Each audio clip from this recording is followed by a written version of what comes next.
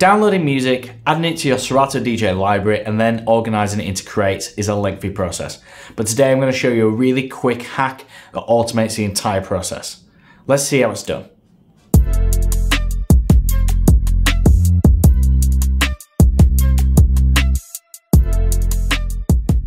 So the first thing we need to do is we need to navigate to our auto import folder within the Serato directory.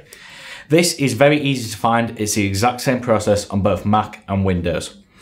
First, head to your music folder, then open the underscore Serato underscore folder, and in here we will find a folder called auto import.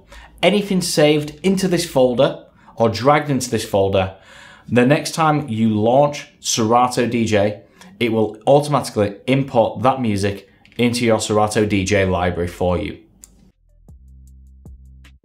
Now we've found the auto import folder, we can start adding music into this folder to then be imported into the Serato DJ library when we launch the application.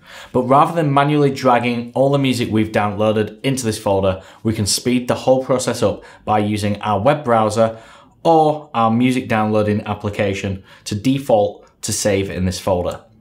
To avoid images and general web browsing files getting downloaded into this folder, I like to use a second browser with the dedicated purpose of finding DJ music. So I use Google Chrome on my laptop for general day-to-day -day browsing. So I have Safari set up to download into this folder automatically. To save time, I also have Safari's homepage set to my record pool of choice. So if I head up to the preferences, go to file download location, press other, and then navigate to the auto import folder. So music, Serato, auto import. Select this as your default download location.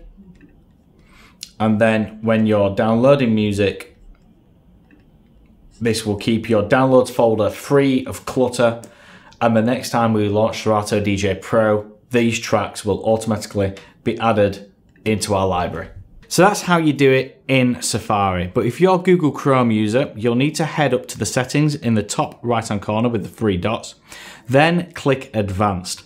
Go to Downloads and then change the location to the Serato Auto Import folder. If you're using a different browser to Safari or Google Chrome, I recommend you Google how to change your downloads location. You can also set your music download applications to download into this folder and it will do the exact same job.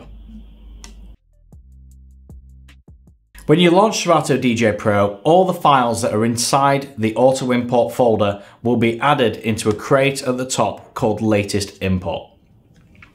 The physical files will be moved from the auto import folder down to Serato, imported, latest import. This is where the physical files will be moved to. Now, we have our files inside Serato DJ Pro and we can go ahead and add these to our own crates. But a quicker and easier process is to take advantage of the Smart Crates folders. To add a Smart Crate, click the blue Smart Crate icon and then add a rule.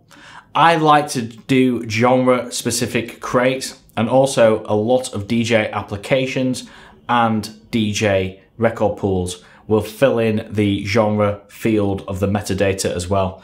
So you know everything added will go straight there. Now when I click in my smart crates, it will automatically load those downloaded files and place them in their own crates as well. A really quick and easy way of automating the whole music download process. And there we have it. It's so quick and easy to set up this hack and you just need to click the download button and it will automatically be added into your Serato DJ library and even organized into a crate for you. So simple. Really does take all the hassle out of downloading music. If you'd like to have a free creative DJ lesson taken from one of our educational courses, do click the link in the top right hand corner. If you've enjoyed this hack, give it a thumbs up. It really is an interesting use of Serato's features is this one and, you know, can save you so much time. Subscribe to this channel if you haven't done so already for more DJ tips, tricks and reviews and hit that bell icon so you're notified when we upload videos. Take care and I'll see you in another video sometime soon. Thanks.